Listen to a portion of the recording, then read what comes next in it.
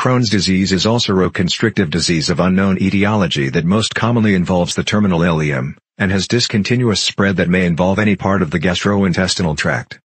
Exact cause of the disease is not known, but possible immune system dysfunction, smoking increases risk. Signs and symptoms. Abdominal pain in the lower right abdomen. Diarrhea, which may or may not be bloody. Sometimes watery feces, or a smaller volume of feces of higher frequency. Flatulence, bloating, and abdominal distension. Persistent vomiting and nausea may indicate stenosis from small bowel obstruction or disease involving the stomach, pylorus, or duodenum. Crohn's disease experience chronic recurring periods of flare-ups and remission. Perianal skin tags, mouth may be affected by recurrent sores, aphthous ulcers. Children are first diagnosed with Crohn's disease based on inability to maintain growth. Inflammation of the interior portion of the eye, known as uveitis. Complications, obstruction, fistulae, and abscesses. Crohn's disease also increases the risk of cancer in the area of inflammation.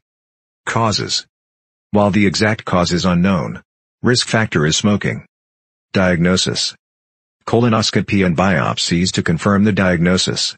Characterized by transmural inflammation of bowel wall. Inflammation from mucosa to serosa. Non-caseating granulomas are a hallmark of the disease.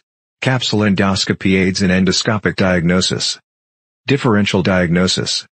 Other conditions with similar includes, intestinal tuberculosis, Behçet's disease, ulcerative colitis, nonsteroidal anti-inflammatory drug enteropathy, irritable bowel syndrome and celiac disease. Treatment. There is no cure for Crohn's disease, remission a key possible, lifestyle and dietary changes, eating smaller amounts more often. Reduction of stress, moderate activity and exercise. Smoking cessation. Proper hydration. Diets that include higher levels of fiber and fruit. Decreased diets rich in total fats, polyunsaturated fatty acids, meat, and omega-6 fatty acids may increase. Some people should follow a low-fiber diet, it is individual. Some find relief in eliminating casein, a protein found in cow's milk and gluten.